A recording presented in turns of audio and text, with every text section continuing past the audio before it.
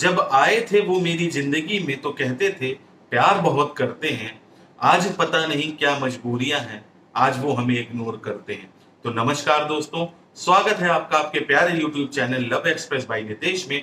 मैं हूँ आपका होस्ट एंड दोस्त नितेश और आज मैं इस वीडियो के माध्यम से आपसे डिस्कस करूँगा कि आपको क्या करना चाहिए अगर कोई आपको इग्नोर करता है।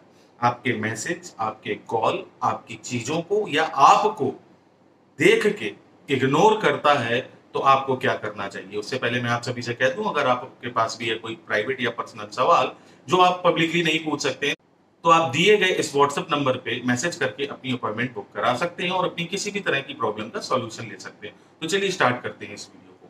सबसे पहले तो एक बात ध्यान रखने की ज़रूरत है कि जब रिश्ते की शुरुआत होती है तो हर एक व्यक्ति, चाहे वो लड़का हो या लड़की, आपको इस बात का पूरा यकीन दिलाने की कोशिश करता है कि हम तुमसे बहुत ज़्यादा प्यार करते हैं, हम तुम्हारे बिना नहीं रह सकते। और ये रिश्ते की शुरुआत में होता ही है, क्योंकि जब अटैचमेंट बहुत ज़्यादा होती है, लगाव बहुत ज़्यादा हो जाता है तो ये हर व्यक्ति विशेष एक दूसरे के साथ अपनी फीलिंग शेयर करके कहता ही कहता है। ये ह्यूमन टेंडेंसी है बिहेवियर है। पर क्या कारण है कि पहले बहुत कॉल आती थी, बहुत मैसेजेस आते थे? मैसेज देखते ही साथ रिप्लाई आ जाता था, और घंटों बातें हुआ करती थी, क्योंकि रिश्ते की शुरुआत में आपके पास एक दूसरे से बात करने के लिए बहुत सारी बातें थी। आपको क्या पसंद है, आपको क्या नहीं पसंद है, आप क्या चाहते हैं, क्या नहीं चाहते फ्यूचर गोल्स क्या है, हम क्या कर सकते हैं एक दूसरे के लिए? समय कम पड़ जाता था बातों के लिए, लेकिन आज जब आप एक दूसरे को वेल इनफ जान चुके हैं तो क्या चीज़ें हैं कि आपको इग्नोर किया जा रहा है और क्यों किया जा रहा है? देखिए, कई बार सिचुएशन में क्या होता है कि इग्नोर दो तरीके से किया जाता है। पहला टेम्परेली इग्नोर टेम्परेली इग्नोर क्या होता है?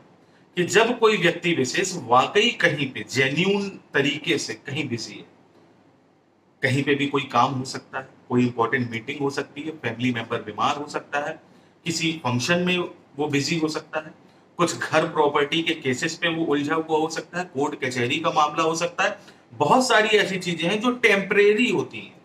और टेम्परेरी अगर आपको इग्नोर किया जा रहा है तो आपको घबराना नहीं है, परेशान नहीं होना है। एकदम से आपको पैनिक नहीं होना है। कॉल पे कॉल मैसेज पे मैसेज करके मुझसे अभी बात करो, अभी करना पड़ेगा, करनी चाहिए। क्यों नहीं कर रहे? जवाब दो। अनोन नंबर अननोन आईडी इधर से ट्राई उधर से ट्राई नहीं करना है आपको।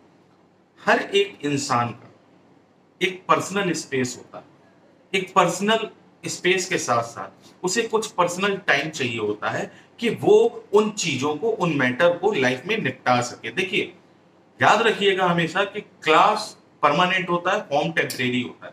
तो ये जो इस तरह का इग्नोरेंस है, ये टेम्परेरी इग्नोरेंस है। जानबूझ के नहीं किया जा रहा, आपको सताने के लिए नहीं किया जा रहा, और इसको आपको समझना होगा। कई लोग बहुत ज़्यादा पैनिक होके अचानक से बौखला जाते हैं कि नहीं, वो हमको छोड़ के जा रहा है, नहीं, वो किसी और के साथ जा रहा है, नहीं, वो किसी और के साथ जा रही है। अब हमसे वो प्यार नहीं करता हर बात में अगर आप अपने पार्टनर से इस बात का प्रूफ मांगेंगे कि तुम मुझे प्यार करते हो या नहीं, या तुम मुझसे प्यार कितना करते हो, इसका सबूत दो या इसको साबित करो।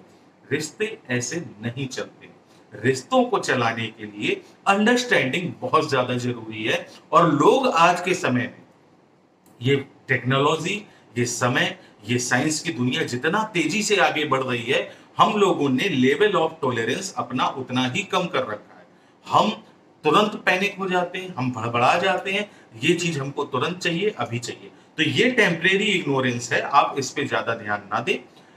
वो अगर कहीं व्यस्त है, कहीं पे दिक्कत में है, कहीं परेशानी में है तो कोशिश करिए आप उसकी परेशानियों को बढ़ाने की बजाय उसका साथ दें, सपोर्ट करें और कम बात करें। ये तो हो गया टेम्परेरी इग्नोरेंस अब आता है परमानेंट इग्नोरेंस जो कि किया जाता है जानबूझ के।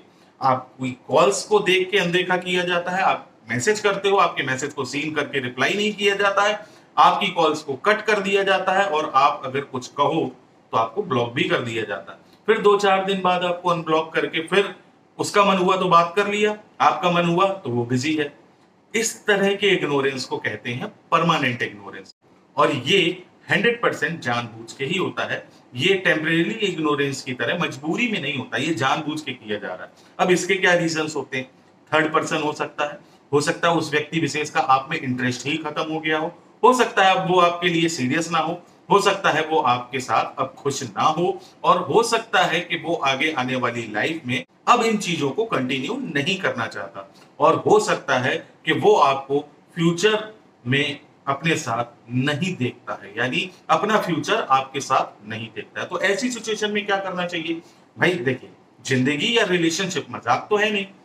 पहले आप आए, अपनाए और सारी चीज़ें करने के बाद, सारी चीज़ें होने के बाद, अपनी आदत लगवाने के बाद, अब आप हमें इग्नोर कर रहे हो, यानी आप हमारे साथ गलत ही तो कर रहे हो ना। तो ऐसी सिचुएशन से बचने के लिए आपको कुल मिला के सिर्फ़ और सिर्फ़ एक काम करना है कि आपको लड़ना झगड़ना लोग आर्गूमेंट करते हैं, लोग लड़ाई झगड़ा करने लगते हैं, परेशान होने लगते हैं। इधर उधर की बातों से कोई मतलब नहीं निकलने वाला। कोई आपको परमानेंटली इग्नोर कर रहा है तो आप सीधे तौर पे जाके उससे मिलिए। अगर मिलना पॉसिबल नहीं है तो आप दूसरे नंबर से एक कॉल लगाइए और सीधा सा आप केवल इतना कहिए, दो मिनट बात करनी। अगर सामने वाला बात करने के लिए तैयार हो जाता है देन ओके और अगर वो नहीं होता उसे आपको ब्लॉक कर दिया। तो आप समझ जाइए, अब इस रिलेशनशिप में ज़्यादा कुछ बचा नहीं है। तो आपको अगर इस तरह का इग्नोर किया जा रहा है तो इस इग्नोरेंस से आपको सिर्फ़ और सिर्फ़ एक चीज़ बचा सकती है, वो है आप खुद। कैसे? जब आपने चार पाँच साल पहले कोई मोबाइल लिया था तो उसकी टेक्नोलॉजी अलग थी फंक्शनिंग अलग थी और फीचर्स अलग थे। लेकिन अब के जो मोबाइल आ रहे हैं, आपको उसको बदलना पड़ा ना। उस पुराने मोबाइल को छोड़ के बदलना पड़ा। आपको ऐसा इग्नोर इसलिए किया जाता है कि जब किसी व्यक्ति, विशेष ने आपके साथ रिलेशनशिप की शुरुआत की थी तो आपकी भी कुछ क्वालिटियाँ हुआ करती थी और उस समय के हिसाब से वो चीज़ें सही थी। लेकिन जब आप रिलेशनशिप में आए तो आपने एक चीज़ मान ली कि ये सामने वाला व्यक्ति विशेष सिर्फ़ मेरा है और अब इस पर सिर्फ़ मेरा अधिकार है और ये मुझे कभी छोड़ के नहीं जा सकता या मुझसे अलग नहीं हो सकता। ये जो आपका अंधविश्वास था, इसी वजह से आज आप इस मुकाम पे खड़े हो, क्योंकि उसके बाद आपने अपने आप पे काम करना ही बंद कर दिया। आपने अपने आप को अपग्रेड ही नहीं किया। और इसी अपग्रेड ना होने की वजह से आज आप पिछड़ गए। और आपकी जगह या तो किसी और ने ले ठीक वैसे ही जैसे पहले पेजर आए पेजर के बाद टेलीफोन आए, टेलीफोन के बाद वायरलेस फ़ोन आए वायरलेस फ़ोन के बाद मोबाइल टेक्नोलॉजी आई। तो याद रखिएगा, चीज़ें अपग्रेड होती हैं।